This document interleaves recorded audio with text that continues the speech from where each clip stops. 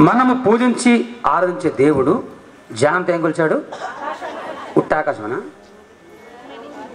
సూర్యుడిని చంద్రుడు సూర్యుడు టోటల్గా మొత్తం కొలిచేసాడు దేవునికి స్తోత్రం. ఆయన జానంత ఉంటే ఆయన చెయ్యంత ఉంటుంది? పోనీ చేయంత అసలు ఆయనంత ఉంటాడు? అందుకే ఆయన గురించి ఆయన చెప్పుకుంటున్నాడు యశయాలోను చదవదే యశయా యశయలోను మత్తెలో. ఆకాశము నా సింహాసనం భూమి నా పాదపీఠం. భూమి ఆయన కాళ్ళు మోపుకొని పాదపీఠం అయితే ఆకాశం ఆయన కూర్చున్న కుర్చీ అయితే ఇంతకైన తలక ఎక్కడుంది ఎవరికి తెలియదు అందుకే చాలా మంది బాగా చదువుకున్న వాళ్ళకి ఉన్నాడా ఎక్కడున్నాడు? అందుకని సులోమను ఎరుసలేము ఎరుస- ఎరుసలేము దేవాలయమును ఆ, ప్రతిష్ఠ రోజున ఆయన ప్రారంభ చేస్తాడు ఆకాశ మహాకాశములు పట్ట జాలనంత దేవుడా. ఈ ఆకాశం వేరు. దీనికని ఇంకా మహాకాశం అంట ఈ ఆకాశ మహాకాశములు పట్ట జాలనంత గొప్ప దేవుణ్ణి మనము నమ్ముకున్నాము. తెచ్చోని కాదు తెక్కలోని కాదు. దేవునికి స్తోత్రం.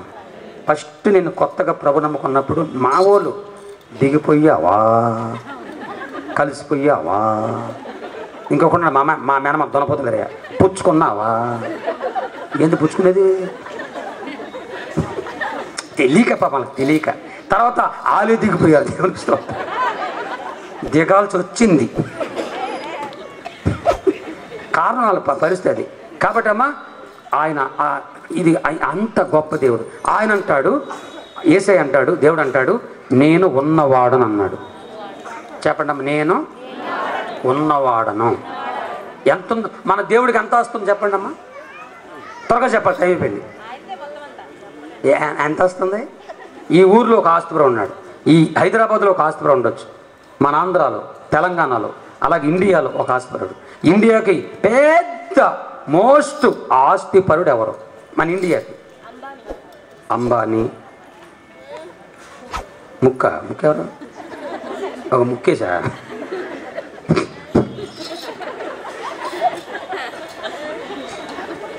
ఆయన పేరు ముఖేష్. ముక్కు కాదు.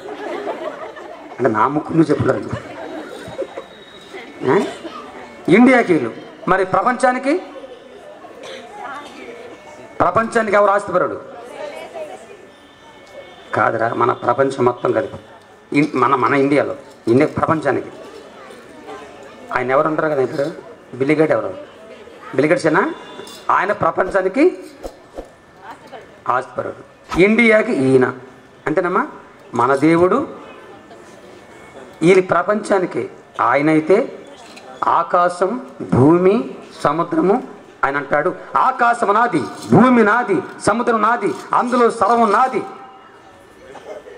మీరు మనుషులు నావారు మీరు నావారు. మీ ప్రాణం నాది వెండి నాది బంగారు నాది అన్ని నాయే. మనుషులు నావారే నీ శరీరం నాది నీ ఆత్మ నాది. నువ్వు మేకస్తో మాట్లాడితే నీ ప్రాణం నాది అన్నాడు ఆయన. టోటల్గా మొత్తం అయింది దేవుని స్తోత్రం. అందుకే ఆయన దేవుడయ్యాడు మన మనుషులయ్యాం. ప్రజలాడు ఇంత గొప్ప దేవుడు నమ్ముకున్నాం. మన నమ్ముకున్న దేవుడు కులం తక్కువ కూడా కులహీనుడు కాదు. మా నాన్న ఆంబూతంగా నన్ను కుట్టాడు. వెళ్తావా? దిగుతావా? ఆ కులంలో దిగుతావా? దిగుతావా అని అదే విషయం ఉన్నప్పుడు కొడితే వేసేవాడిని. విషయం లేదప్పుడు. నేను ఏ కులంలో దిగల ఏ మతంలో దిగల నిలబడ్డాను ఏసీ నన్ను బాగా చేశాడు దేవుని ఒక విషయం ఏంటంటే అంత గొప్ప దేవుడు భూమి ఆకాశం సముద్రం అందులో సర్వాన్ని కలిగించిన దేవుడు ఆకాశ మహాకాశములు పట్టంత గొప్ప దేవుడు చిన్న పిండంగా మారి మానవ జాతి కోసం ముందున్న వారి కోసం కాదు వెనకున్న వారి కోసం ఇప్పుడు వారు రాబోయే వాళ్ళ కోసం అంతటి కోసం చిన్న పిండముగా మారి మరి గర్భంలోకి వెళ్ళి పరిశుద్ధంగా పుట్టి ముప్పై సంవత్సరాల కుటుంబ బాధ్యత తీసుకొని మూడున్నర సంవత్సరాల ప్రపంచానికి కావలసిన సందేశాలు అందించి మానవ జాతి అందరి కోసం వెనకున్నవారు ఇప్పుడున్నవారు రాబోయే వాళ్ళ కోసం కావాల్సినంత పరిశుద్ధమైన రక్తమును సిద్ధపరిచి ఆయన చనిపోయి మూడు రోజులు ఉండి తిరిగి లేచి పరలోకం వెళ్ళి త్వరగా రాబోతున్నవాడు మన ఏసయ్య దేవుని ఎవరైతే ఆయన నమ్మి రక్షించబడి యథార్థంగా జీవిస్తారో వాళ్ళ కోసం మోక్ష రాజ్యం పరలోక రాజ్యం ఇవ్వడానికి వస్తున్నాడు. అదే ఈ సువార్త సభకు సారాంశం. గట్టిగా చెప్పడం ఇంత గొప్ప దేవుణ్ణి మనం నమ్ముకున్నాం. హలలుయా ప్రైజ్ లాడ్ ఎంత గొప్ప ఆ దేవుణ్ణి అడవిలో మా అమ్మ నమ్ముకుంది దేవుని స్తోత్రం. మరి అక్కడ చర్చి ఉందా? అడవిలో చర్చి ఉందా? ప్రభు నమ్మకం ఒక్కటి ఆరాధిస్తుంది తండ్రి నన్ను కనికరించు. మా జాతి వాళ్ళని కాపాడు. నరబలులు మానిపించయ్యా. చిన్న పిల్లల్ని బలి చేస్తున్నారు. అని అలా ప్రాణం చేసుకుంటే నా తండ్రి మా బంధువులు వచ్చి కేవలం నా తల్లి యేసు ప్రభు నమ్ముకుందని తెలుసుకొని మా అమ్మని తీసుకెళ్ళి నిండు గర్భిణి నేను మా అమ్మ కడుపులో ఉన్నాను. మా అమ్మ నన్ను తీసుకెళ్ళి ఒక చెట్టు కట్టేసి మమ్మని దారుణం కొడుతూ పిచ్చి మాటలో బూతి మాటలు మాట్లాడుతూ నువ్వెందుకు నమ్ముకున్నావు? అని చాలా ఘోరంగా తిడుతూ.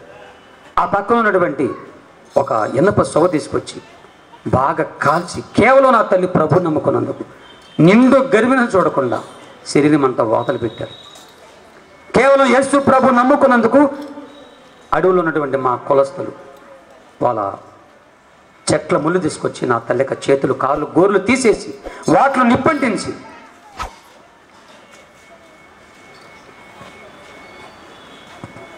ఆ గోర్లు తీసేశారంట పీకేశారు. నా తల్లి ప్రాణం ఎంత అల్లాడిపోయి ఇవన్నీ నా తండ్రి మా బంధువులు ప్రభు నమ్ముకున్న తర్వాత చాలా విషయాలు చెప్పుకొచ్చారు. టైం లేక మాట చెప్తున్నాను. అప్పుడు మా అమ్మ ప్రభు నేను చనిపోతున్నాను. ఒక రోగిగా ఎబిసరిగా మోసగత్తుగా నేను చావట్లేదు. నిన్ను నమ్ముకొని చచ్చిపోతున్నాను నాకు ఎంత సక్కన సావిచ్చావు నా సావు నా జాతిని మీదకి శాపం తేవద్దు. వాళ్ళని రక్షించు. వాళ్ళని మంచిగా చూడు. వాళ్ళందరూ ఆ నరబలులు మానేసి బాగా చదువుకుని ప్రయోజకులు అవ్వాలి అదే నా ఆశ నా కోరిక.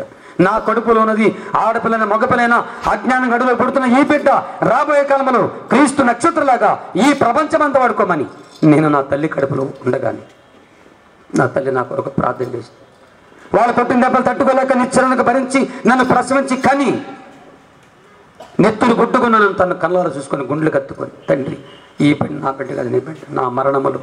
నేను చనిపోయే ముందు నా చివరి శ్వాసలో నా చివరి కోరిక నా బిడ్డ నేను సాక్షిగా వాడుకో. ఈ ప్రపంచమంతా నీ సాక్షిగా వాడుకోమని నా కొరకు ప్రార్థించి మా అమ్మ చనిపోయింది. నేను పుట్టగానే మా అమ్మ చచ్చిపోయింది. మధ్యలో నాన్న కూడా ప్రభు నమ్ముకొని కొంతకాలం ఉండి ఆయన చచ్చిపోయాడు. ఇప్పుడు నాకు అమ్మన నిద్ర లేదు. మీరు ఎంత అదృష్టవంతులంటే నేను ఎంత దురదృష్టవంతునంటే పుట్టగానే అమ్మ చచ్చిపోయింది. లాలి అమ్మ లాలిపాట జోలపాట పాలు నాకు తెలియదు. అమ్మ పెంపకం తెలియదు తండ్రి పెంపకం నాకు తెలియదు. మీరు మీ అమ్మ నాన్నలు దగ్గర ఆడుకున్నారు. చాలా ప్రేమగా బతికారు. మంచిగా చదివిస్తున్నారు. మీరు చాలా మంచివారు. నాకు అలాంటి స్థితి నాకు లేదు. నన్ను పెంచింది తండ్రి చూస్తే తండ్రి వెళ్ళిపోయాడు పిల్లలు చూస్తే నా అక్కలుగా నా బంధు నన్ను ఎవరు పెంచలేదు. నన్ను పెంచింది ఎవరంటే జంతువులు. దేవుడు జంతువులకు ఆజ్ఞనిచ్చాడు రాబోయే కాలంలో ఈ బిడ్డ నేను ఈ ప్రపంచంలో గొప్ప సాక్షిగా వాడిపోతున్నాను కాబట్టి అని జంతువులకు ఆజ్ఞనిచ్చాడని పెంచమని. భూమి మీద జంతువులు ఆకాశ పక్షులు నీటిలో చేపలు ఆయన మాట అంటే. కాకులతో మాట్లాడుతున్నాడు. అడవిలో నా కుమారుడు ఈలిగా ఉన్నాడు. ఆయన ఉన్నంతకాలం ఆహారం పెట్టమన్నాడు. కాకులు ఆహారం పెట్టింది. సింహాలతో మాట్లాడుతున్నాడు. నా కుమారుడు మీ దగ్గర ఉన్నాడు రాత్రి దాని ఆయనకి ఏ అపాయం చేయొద్దు. అలాగే ప్రభుని కాపాడి అగ్నితో మాట్లాడాడు. చడ్రకు మెస్సే కవితను అగ్ని పెడితే ఇంత కూడా హాని కలగలేదు సముద్రం ఆగిపోయింది. ఆయన మాట్లాడితే సముద్రం గాలి నీరు మొత్తం ఆగిపోతాయి. అలాగే జంతువులతో నా గురించి మాట్లాడు. నన్ను ఆయన బిడ్డగా మార్చుకుంటారు. ఆయన సాక్షిగా నిలిపోవటానికి ఆ సింహాలు పులులు క్రూర జంతువులు తలుచుకుంటే ఒక్క క్షణంలో నన్ను నమిలి తినేసి ఆ జంతువుల ద్వారా దేవుడు నన్ను పెంచాడు. జంతువులు అంటే నాకు చాలా ఇష్టం. అవి నాకు ప్రాణం. ఎందుకంటే వాడి భాష వాటి విధానం నాకు బాగా తెలుసు. జంతువుల నుంచి మనుషులకు వచ్చేసరికి నూటికి తొంభై శాతం జంతు జంతువులు నాకు మంచి అనిపించింది. వాటి దగ్గర కుళ్ళు కపటం పాపం అన్యాయం ఉండదు. మనుషుల్లాగా కొట్టుకోవటం మతాలు మతాల గొడవలు కులం గొడవలు ఏముండవు వాటికి. వాడికి కులము లేదు మతం లేదు. అందరూ సమానమే. జంతువులు వేరు మనుషులు వేరు. అందుకని కుక్కకున్న విశ్వాసం మనిషికి ఉండదు. జంతువులు వేరు దాని విధానం వేరు. అలాగే పెంచినవి సరే అలా ఉండగా నా పరిస్థితి ఏంటంటే అప్పుడు మా అమ్మ చనిపోగానే నా తండ్రి మా బంధువులు కలిసి నన్ను ఒక జంతువుగా మారుస్తున్నారు. దానికి కారణం భద్రాచలం అడవుల్లో ఈనాటికి ఆనాటికి కూడా మొన్న ఈ మధ్యలోనే నేను పుట్టిన ప్రాంతం నా సింతూరు కొంటలో సభలు జరిగినాయి.